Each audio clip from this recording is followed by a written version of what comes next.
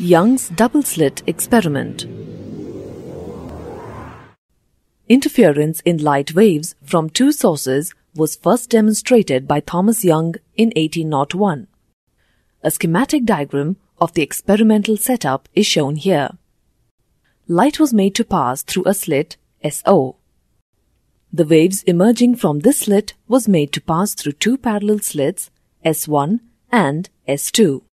These two slits served as a pair of coherent light sources because waves emerging from them originate from the same wave front and therefore maintain a constant phase relationship.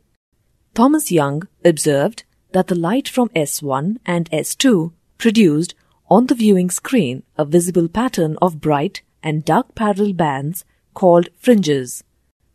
What causes bright and dark fringes?